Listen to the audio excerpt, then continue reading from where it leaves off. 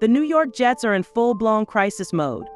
Just weeks after parting ways with head coach Robert S., the franchise has now made the difficult decision to fire general manager Joe Douglas. This is a shocking turn of events for a team that entered the season with hopes of a Super Bowl appearance, only to see those dreams unravel into what could be remembered as one of the NFL's most disappointing seasons. At the heart of the turmoil is Aaron Rodgers, the marquee acquisition who was supposed to lead the Jets to greatness. With everything that's happening, serious questions now hang over his future in both New York and the entire league. 2024 was meant to be the year of redemption for the Jets, with Rodgers spearheading the charge. The franchise had carefully constructed a team built for a deep playoff run, but instead they've become the butt of every joke in the NFL. After suffering a painful defeat to the Colts at MetLife Stadium, the Jets now find themselves tied with the Patriots at the bottom of the AFC East, something no one could have predicted, especially after the Patriots' disastrous preseason outlook. Aaron Rodgers, once hailed as the Jets' savior, has struggled to regain his MVP level form. His Achilles injury in 2023 seemed to signal the start of bigger problems, and unfortunately, that has proven to be the case. At 40 years old, Rodgers has posted lackluster numbers this season, with only 2,442 passing yards, 17 touchdowns, and 7 interceptions. While these stats might appear decent on the surface, they fall far short of the high expectations set for a future Hall of Famer.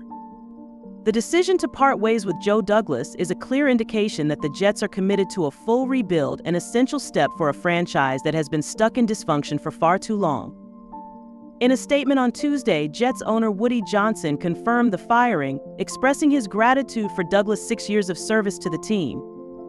I want to thank Joe for his dedication to the Jets over the past six years and wish him and his family all the best moving forward, Johnson said.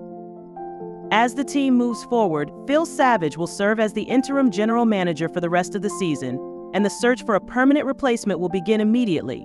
Douglas leaves behind a mixed legacy. While he made great strides in the 2022 draft, bringing in talent like Sauce Gardner, Garrett Wilson, and Breece Hall, his inability to find a long term solution at quarterback proved to be his downfall. The high risk gamble on Aaron Rodgers has certainly backfired, making it all the more clear that the Jets need a new direction. The Jets' issues, however, run much deeper than just their poor record. Reports have surfaced suggesting that many players have mentally checked out, with some even feeling as if it's time to end the season early. According to SNY, the internal dysfunction within the organization has created an environment where success feels unattainable, regardless of who is calling the plays or standing under center. To make matters worse, there is growing speculation about the future of team owner Woody Johnson himself. Rumors have been circulating that he may return to politics, which could pave the way for his brother, Christopher, to take the reins. If these rumors hold any truth, it would only add another layer of uncertainty to a franchise already teetering on the edge. For Aaron Rodgers, this situation only adds to the bleak outlook. Insiders are now suggesting that his time in New York may be limited, with the quarterback's future in jeopardy after just two seasons.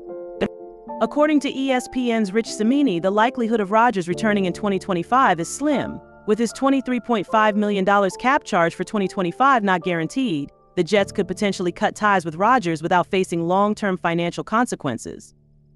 One anonymous source bluntly stated I'd be shocked if Johnson brings Rodgers back in 2025. If the Jets do decide to part ways with Aaron Rodgers, it would mark a shocking end to what was expected to be a fairy tale partnership.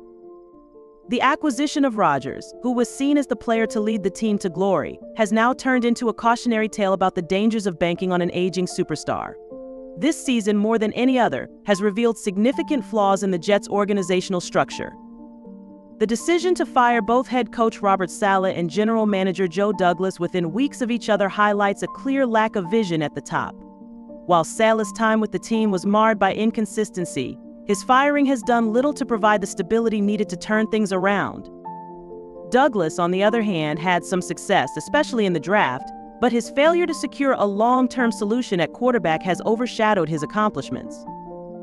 The Rodgers experiment, in particular, has been a disaster. What was supposed to be a short term fix for the Jets has instead become a glaring example of how even the most talented quarterbacks can fall short when placed in a dysfunctional environment. The gamble on Rodgers has cost the team dearly, and the Jets now find themselves in a precarious position, trying to rebuild their shattered reputation. As the team looks ahead to the future, one of the biggest challenges they face is finding a viable quarterback to lead them out of this mess. The Jets' failure to develop young talent at the quarterback position over the years has left them without a clear succession plan. The rise of rookies like Drake Maye, now thriving with the Patriots, serves as a painful reminder of what the Jets could have had if they had made different decisions in recent drafts. But with the current roster and no clear successor to Rodgers, the Jets face an uphill battle to find a quarterback who can step in and be successful. Looking at Rodgers' potential future in the NFL, it's hard to imagine him joining teams like the Browns or Jaguars. While both franchises are known for their chaos, the idea of Rodgers fitting into their system seems almost comical. Plus, adjusting to their respective offenses would be a massive challenge for a player who's already known for his struggles with adapting to new systems. As for teams with a coaching staff like the Shanahan McVay tree, the fit seems even less likely. These teams emphasize collaboration, and Rodgers' history of locker room drama and resistance to certain offensive styles would make him a challenging fit. While his talent is undeniable, his personality and declining performance might make him less attractive to teams looking for long term solutions. As for the Minnesota Vikings, the idea of Rodgers playing for them is even more far fetched. With the current front office focused on building a younger, cheaper roster, they have no reason to disrupt their strategy for a short term gamble on an aging quarterback. The Vikings are laser focused on developing young talent, and signing Rodgers to a deal that could take away from their long term goals doesn't make much sense. Sure, the idea of Rodgers joining the Browns, Jaguars, or even the Giants would turn heads and have the football world buzzing. But let's be honest, Rodgers isn't the kind of quarterback teams will go to great lengths to acquire anymore. If he can't adapt to their systems or tone down his larger than life personality, his future in the NFL might become more of a punchline than a playoff story. Despite all of this, it seems highly likely that Aaron Rodgers will remain with the Jets for at least one more season. The team has no better option at quarterback, and starting fresh with someone like Tyrod Taylor or another available veteran just isn't a practical solution. Even though Rodgers hasn't had the best year, his presence still offers more potential upside than any other quarterback the Jets could realistically sign. Additionally, it seems unlikely that the Jets would pass up the chance to draft a young talent and allow them to develop behind Rodgers for a year or two. This strategy would give the Jets a shot at competing in the short term while also building for the future. It's a smart play, balancing immediate needs with long term vision. However, there's also a compelling argument for cutting Rodgers after this season, Taking the $49 million cap hit all at once might seem painful, but it could free up cap space and avoid carrying over those troublesome void years in his contract. A new regime could reset the salary cap, positioning themselves to rebuild with greater flexibility. While this isn't the most exciting option, for a team in need of long term stability, it could be the best move. With only a few weeks left in the season, the Jets have little time to change the course of their future. Phil Savage, the interim general manager, will be focused on preparing the team for the offseason, as the team's immediate goal is simply to avoid becoming the laughingstock of the NFL. But the real question lies in whether Aaron Rodgers will decide to stay for another rebuilding season. After achieving so much in his career, the prospect of enduring another year with a team in disarray may prove too much for him to handle. As the Jets approach yet another overhaul, one thing is clear the franchise stands at a crossroads. The decisions made in the coming months will determine whether the Jets can salvage their future or remain trapped in a cycle of mediocrity. For Aaron Rodgers, the question is whether he wants to be part of that future or if it's time for him to close the chapter on his time in New York. So, what do you think? Should the Jets give Rodgers another season to try and turn things around, or is it time for a complete rebuild?